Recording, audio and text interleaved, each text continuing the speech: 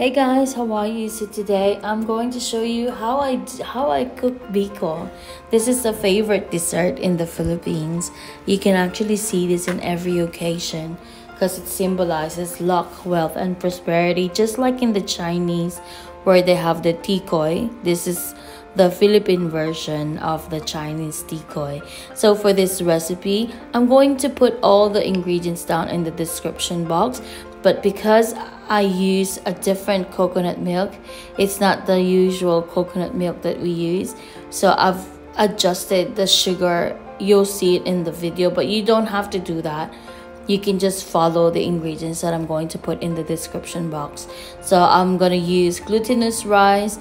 I'm going to use brown sugar and I'm also going to use um, salt and pandan flavoring but if you have the pandan leaves you are more than welcome to use that. And also I'm going to use an unsweetened coconut milk and coconut cream.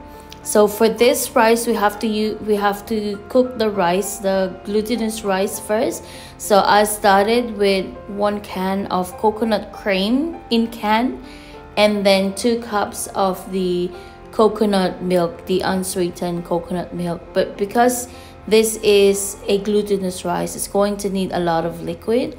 So I ended up using the entire one liter of coconut milk. So um also another thing is it's best for you to cook this glutinous rice in a stove rather than using your rice cooker because it's going to need a lot of time to cook and while it's cooking you can also check and see if it needs more of the liquid.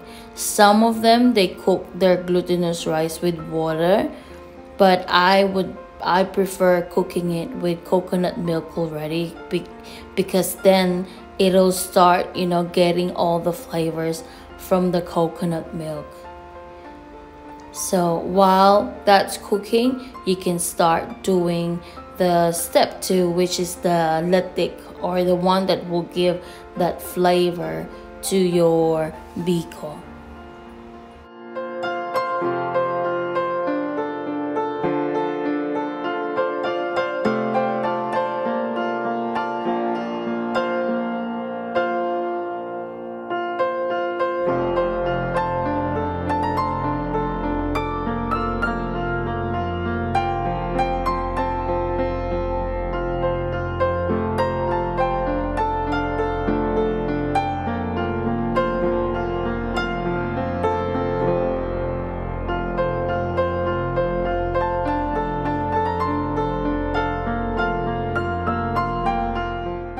So this is how you're going to do the step two or the making of the latik.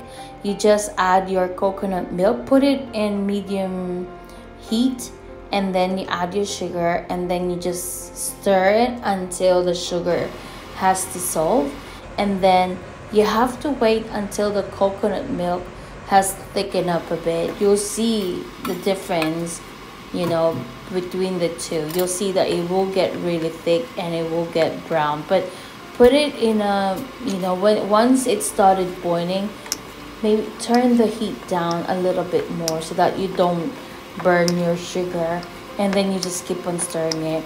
Once it's thick enough not too thick though but once it's thick enough you can separate like half a cup of the of this uh, you can separate that and you can pour it over your biko later or you can just leave it as it is because that's how I want my biko so once the sauce is thick enough you just add the cooked glutinous rice into it and then you have to continue stirring it.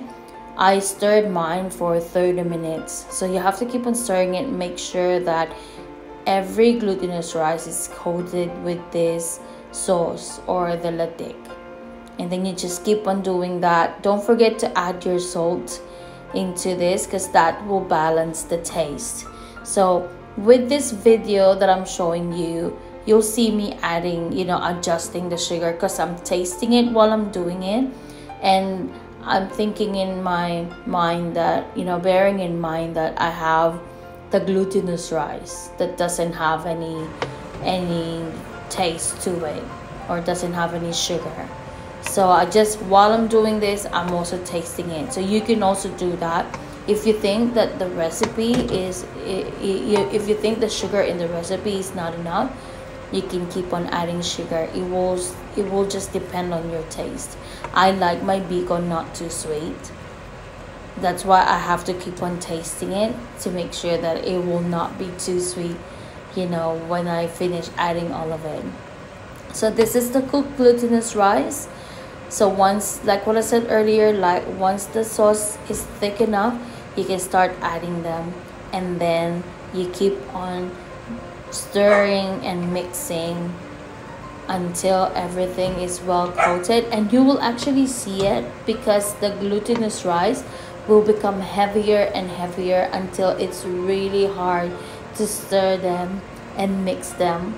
That's the time that you know that you are done okay so like what i said when i was doing this i i mixed it. I stirred for 30 minutes okay? So yeah i hope you guys enjoy this wonderful video that i have for you today. And if you do please consider giving it a thumbs up and if you haven't subscribed to our channel don't forget to hit that subscribe button and the bell next to that so you'll be notified every time we post a new video. Until next time guys and i hope you enjoy this biko see ya